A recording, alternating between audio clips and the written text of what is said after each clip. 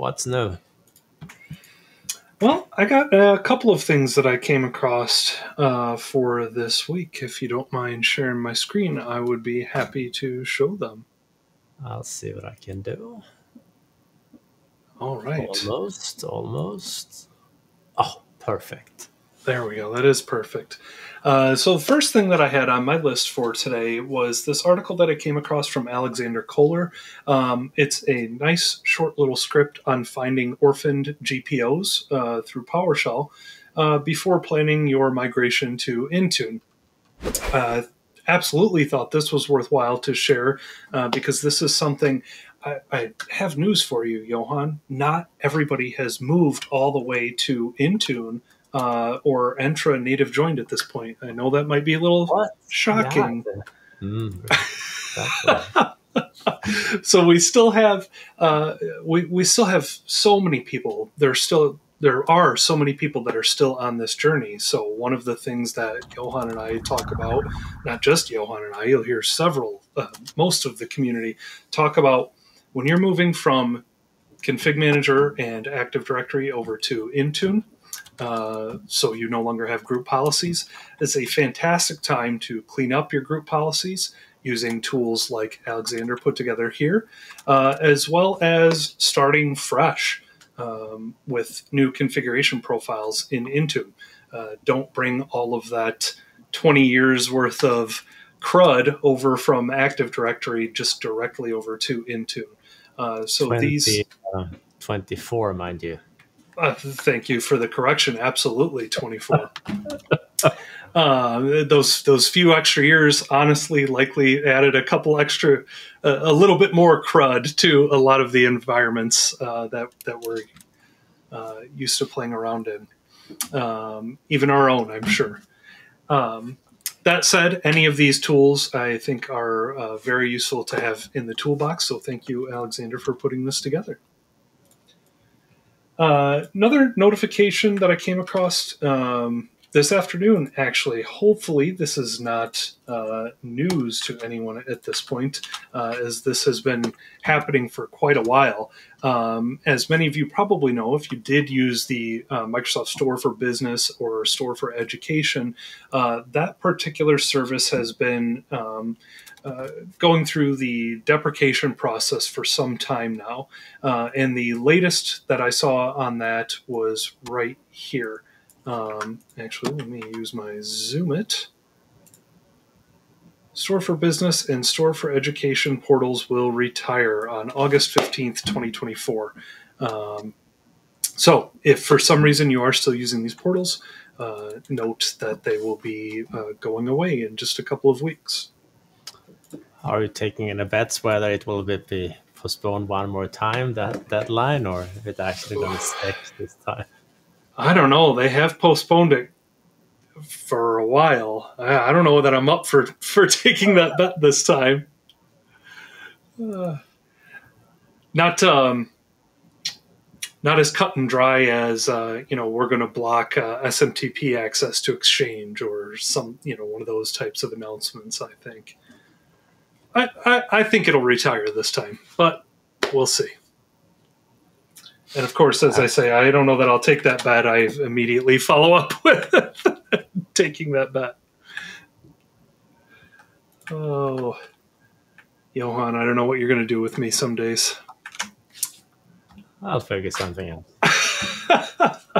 uh, so, last but not least, the uh, one thing that I wanted to go over was uh, I published a blog post yesterday on our uh, the deployment research blog, um, a little bit around how we can do some perform some ad hoc actions um, in terms of reading our uh, LAPS password or BitLocker recovery keys, rotating those passwords and recovery keys as needed, and also reporting on when they have been retrieved or rotated um, through PowerShell. Now, this post focused specifically on Intune and Entra, um, and also on the uh, sort of ad hoc uh, actions.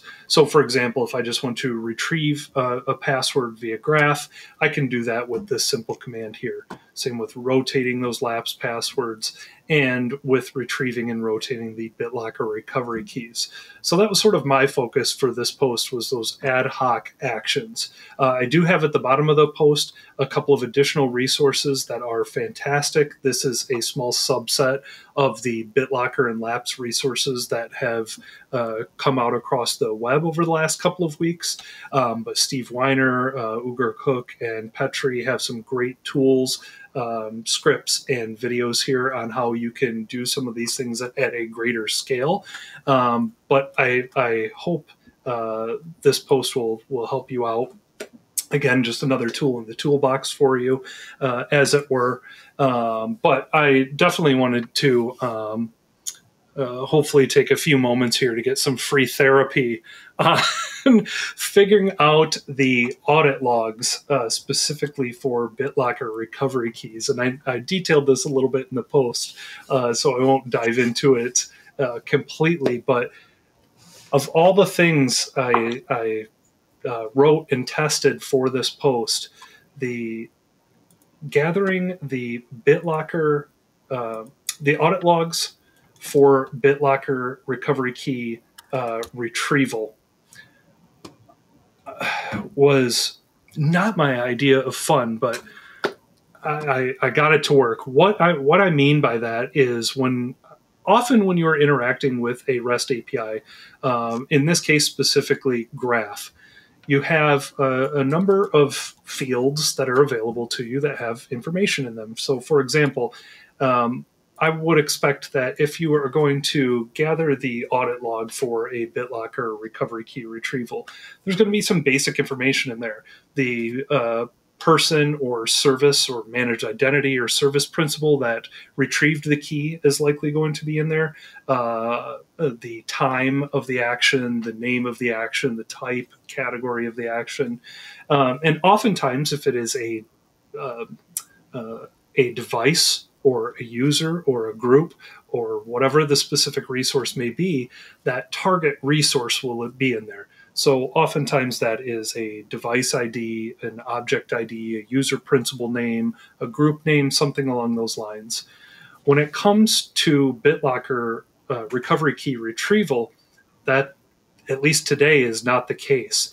The information is actually stored in a field called additional info, and it is stored in a long string uh, that here's here's the example for it. Successfully retrieved bitlocker recovery key associated with key id and then there is a key id for the specific bitlocker recovery key um, and then backed up from the device and you have an azure ad device id that shows up there as well. Well there is a little bit of regular expression work that needs to be done here to pull out that second GUID, that Azure AD device ID. Um, so with a little help, I was able to get there, um, but uh, I just needed a vent for a minute. uh, that's okay. Regular expressions will do that to you, yes. Absolutely, they'll either drive you to drink or drive you to therapy. I, oh no. Yeah, I don't know. It's yeah. Yeah, exactly. So for those of you that that need to do this through PowerShell or would like to do this through PowerShell, um, I, I, would love to hear uh, if you use this uh, that you either were successful with it or um, there needs to be some work here. Um, I just wanted to throw these things out there uh, for a little bit of help because uh, I know that we've all been talking about LAPS and BitLocker now for two weeks straight. Mm-hmm. But anyways, uh, I've been rambling on for a little bit. That was what I had on my list for today, Johan. All right, sounds good. Um, I have some good news. Uh, Excellent. About three weeks ago, we were asked a question regarding an unattended XML file for Autopilot that we can leverage on just any given USB media that will just take the machine up to the out of box experience right away. And I said, yeah, of course, I will do that. And then CrowdStrike happened, and I absolutely did not do that. Uh, but now I've done it. Excellent. That so, is good news. Uh, let me um, get rid of some stuff, and I will share my screen. Um, when I find it, I will share it. How about that? That sounds good, like a plan. And that looks All like right. your screen. yeah. So this is it. Just the basic unattend file. Now, I could argue and say that a better option is to create an MDT offline media. Uh, and just to show how that was different, I spent some time this weekend and recording a video on, on how to do that because it will basically take you about an hour to set it up from, from nothing to finish. And then you have a media that you can use for just ad hoc deployments, uh, USB stick, whatever. Install Windows, install drivers, install applications. And since it's a sequence, it's so easy to put in some steps to do whatever you want to do. But if all you want to do is an automated unattend file that will bring up the machines to autopilot, this is it. It will do exactly that, no more, no less. So here we are, finally fulfilling my homework. Excellent work. Thank you, sir. All right. Um, so in addition to those two things, I'm just going to snatch that link while I, I remember it. Um, I'm not going to play the video, promise. but we do keep an eye on our links here on the Academy, uh, and we share them under our live stream. So I want to snatch that link. Now, another one that I, I was very excited about uh, and news was uh, an update to Winget or platform update about Winget. In version 1.8, you have the ability uh, to download store apps directly from the store, uh, including all the dependencies, and not just for, for the architecture you happen to be on, but every single architecture, ARM and ARM64 and 32-bit and whatnot. So I was like super excited, but like, oh, great. Except it doesn't bloody work. But uh, other than that, it was a great thing. Uh, but we've been uh, chatting back and forth in the community, and Microsoft has been chiming in a few times back and forth, and they even asked to, all right, try a non-elevated command prompt. So I tried a non-elevated command prompt. Uh, try forcing interactive login. Yes, I did, and it prompted me twice, one in the beginning and one in the end. Still didn't get a license. So, uh, well, work in progress. Uh, but the announcement is there, and I'm, I'm grateful for being a tester of this pre-alpha release. So, anyway, Absolutely. We'll have to keep an eye out on that one. It seems like uh, quite a bit of excitement generated around that announcement. oh yeah, I mean that the, the story is, is great. I mean the idea is fantastic, but implementation, ah, hmm, not so much. Room for improvement. Opportunity for growth. Yes, uh, yes, Corporate yes. standard here. Yeah, but I, I set up a room for improvement. It's a good one. It is. Uh, what else? I think that was pretty much it uh, from from the news stand. No, one more thing. There's always one more thing. Uh, we just got confirmation today. We haven't published it yet, but in August we'll be joined by Rod Trent on our academy to give us a rundown on what uh, Copilot for Security is all about. So looking forward to that one, and we will probably chat more about it next Wednesday when stuff is published and available on the site. So Excellent. getting there.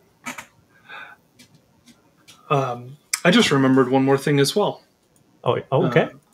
Yeah. We have talked a little bit about Cloud PKI over the last several months, uh, and one of the um, uh, opportunities for growth with Cloud PKI was the fact that you could not delete the root CA, um, and that was rolled out uh, just this week, I believe. Oh, yeah. The deletion rolled out this week. Yeah, you're right. I saw that. Yes. Was it uh, Mr. Hicks that mentioned that, or was it someone else? I've seen quite a few now at this point. I've seen a, fo- a few folks from Microsoft mention it. Richard absolutely mentioned it. Um, yeah, quite a few. And I know that was a you know something that people had really been looking forward to. Uh, that was missing in the platform.